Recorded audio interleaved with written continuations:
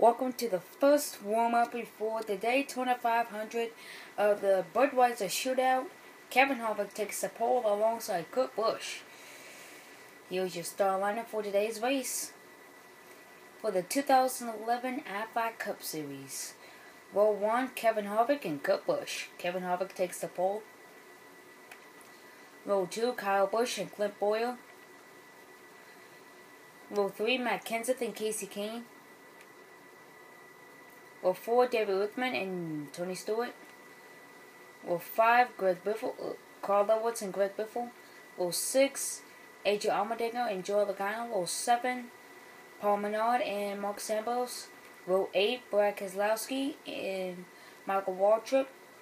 Row 9, Bobby Labonte and Travis Kvapil. Row 10, Ricky Stenhouse Jr. and Josh Wise. Row 11, Danica Patrick and Jennifer Jacob. On row 12, David Gilliland and Ricky, Ryan Truex. And finally, on row 13, David Ragan.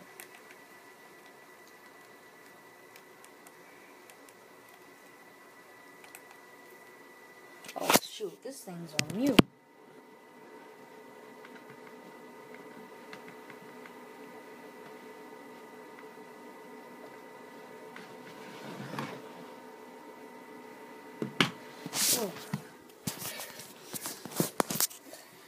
Now something mm. strange is going on here. Just want to get done. Want to get it done, bro.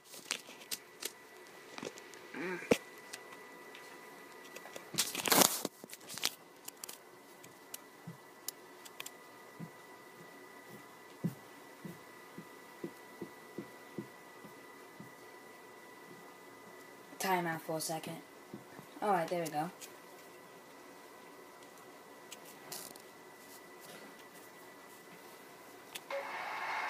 Here we go. Since this is a Bud shootout, this will be uh since in since in the shootouts for the uh, 2011 season in 2010 we'll only do like about five laps, and they're off. For the first round of the uh, warm up before we get to the Daytona 500, the Budweiser Shootout. You know it's kind of funny. Uh, don't don't get me wrong, but some of the drivers who did not make it to the race might be alone, and that happens to the and that's hap- and that happens to the drivers all the time in the 2011 season. They're going by back straight. David Ragan making moves. Bobby Labonte three wide with Michael Waltrip, the 15 car. David Ragan gaining, gaining some ground now alongside the number two car of Marco Campos, uh, the number nine car Marco Campos, and the number two car Brad Keselowski as he makes a slingshot. Lap number two. Four to go, four to go for the Bud Weiser shootout.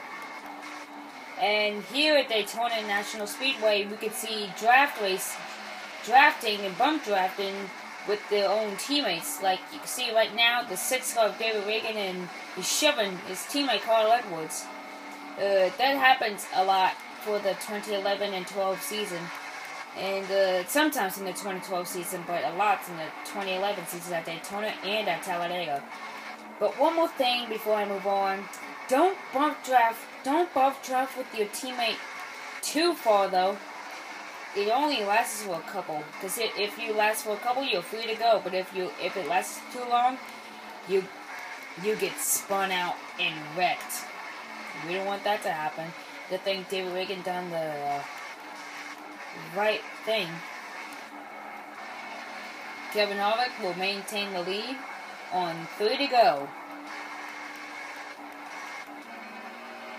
Coming turn number one and two. David Ragan in third place, right in the second, almost getting catching into second place with the wild thing of Kyle Busch.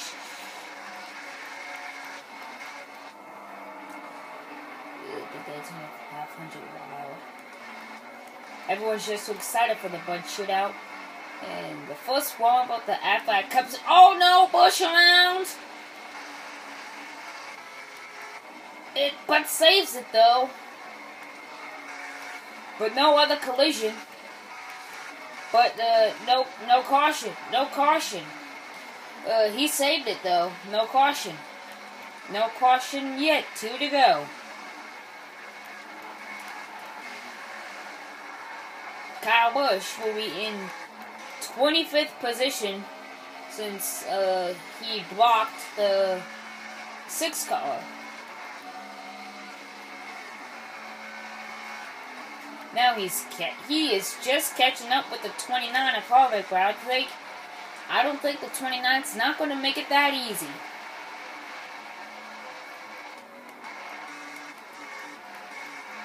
See David Ragan trying to pass Kevin Harvick to the inside. Now he's going to try the outside again.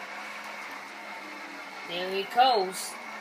Final lap this time by. Oh, oh! Ragan made contact and Ragan almost got spun out and got wrecked and almost lost the race. And white flag is in the air. Will Kevin Harvick will make it back-to-back Budweiser shootouts? 2009, 2010, and 2011. Oh, oh no, he goes around by David. I think, see, in 2011 and 12, dude, you get too much, you, you too much blocking. I mean, you, you too much, you too much block, you blocking too much, and you get spun out by the opponent right behind you. That's what happens a lot, a lot of times in the 2011 season at Daytona. So that has just happened. And we've seen that like about six years ago in 2007 or 6 with Tony Stewart and David Ragan with the same guys on the final lap for the Daytona 500. And Nick Newman and Johnson Jr. and check a flag, and David Ragan will win his first Bud Shootout. We'll see you next week for. We'll see you somewhere around. We'll see you. We'll see you next week for the Next up will be the Gatorade Duel at Daytona. Here are your race results. David Ragan in first place, Kurt Busch in second place, Clint Bowyer in third place, Kasey Kahne in fourth place, David Uthman in fifth place, he's in the top five, Joe Allen in sixth place, Adrian Allmendinger in seventh, Greg Biffle in eighth, Matt Kenseth in ninth, the two teammates finished together. Oh, actually, three. Carl Edwards in 10th place, finishing the top 10, so that we congratulate for Roush Fenway. Uh, Paul Paul Menard in 11th, Bobby Labonte in 12th. Uh, Tony Stewart had a bit of rocky start, so he was going to be in 13th place. Marcus Samuels also in 14th, but Michael Waltrip in 15th in the same number position. Um, Travis Crawford, the 16th, uh, Travis Crawford, the 38th, currently and finished in 16th place. He had a bit of a rocky start as well. Brad Keselowski, and he he gained some ground a little bit, so he'd be in 7th place. Josh Wise, 18th. Ricky Stenhouse Jr. in 19th. 20th, Danica Patrick. Or David Gillen had a lot of, he had a, he was struggling. He was struggling out there. He's in 21st. Jeffrey Joe Cobb in 22nd. Ryan Truex in 24th. Kyle Busch, and two cars that got spun out, Kyle Busch and Kevin Harvick, will be in 24th and 25th place. David comes. I mean, David Wa- David Ragan won Coke Zero 400, but never won the Budweiser Shootout. And David goes doing his determination.